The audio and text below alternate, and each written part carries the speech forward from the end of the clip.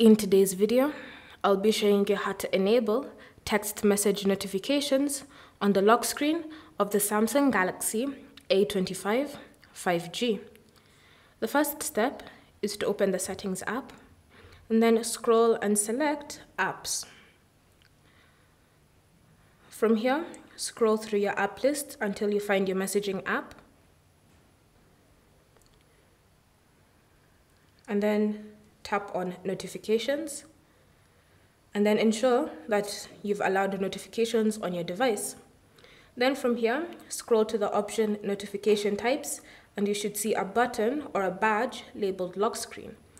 As you can see, mine says not allowed, which means that text message notifications have been disabled on my lock screen.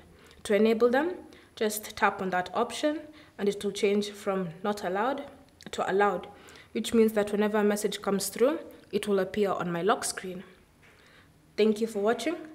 If you have any questions or comments, leave them down below and we'll get back to you.